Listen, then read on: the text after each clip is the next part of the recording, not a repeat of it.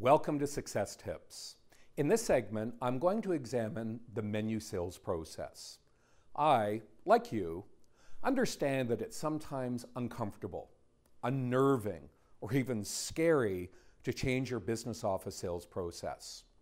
One of the biggest misconceptions with respect to menu selling is that it will radically change your business office sales process. This is not the case. Look at it this way. The presentation of a menu is really just an enhancement to your current sales process, an extra step that follows the completion of your customer's credit application. A menu is a tool that provides a concise overview of what's to come, like an executive summary up front. It's designed to build trust and credibility with your customer and open up discussion. It is then designed to lead into more detailed feature benefit presentations of your business office products and services, just as you currently do. For example, if your sales process begins by first meeting and greeting your customer and building rapport, and second, completing a credit application for dealer plan financing, then your menu would be introduced after completion of the credit application. After presenting your menu, you would then lead into your first detailed product presentation. Your first presentation would be the business office product that appears first in your menu options. And which product to lead with is your choice. For example, some business managers present an extended service plan, then a vehicle protection package, and finally, life and disability protection.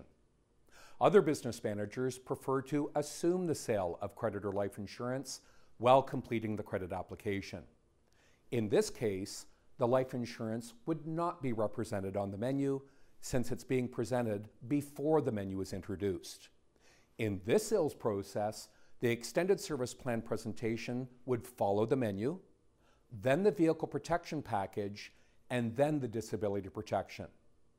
Presenting life insurance as your first product at the beginning of your turnover during the credit application, and then presenting disability protection as your last product with the other products in between is referred to as an insurance sandwich. Staggered turnovers are also a popular approach to a menu sales process. A staggered turnover is a turnover that is divided into two meetings with your customer. Dealer plan financing and creditor life insurance are generally presented during the first turnover, which is at time of vehicle sale. The second turnover occurs at time of vehicle delivery. This meeting begins with a menu presentation, followed by a detailed presentation of the extended service plan, the vehicle protection package, disability insurance, and other products offered by the business office, such as gap protection, tire, road hazard warranty, etc.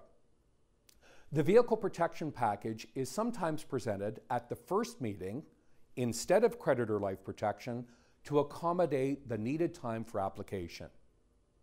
Some business managers will email their menu to their customer along with digital brochures and video clips following the first turnover.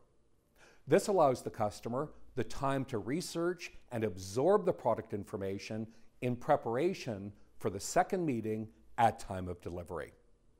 I'm Chris Schulthies. Join me next time for another success tip.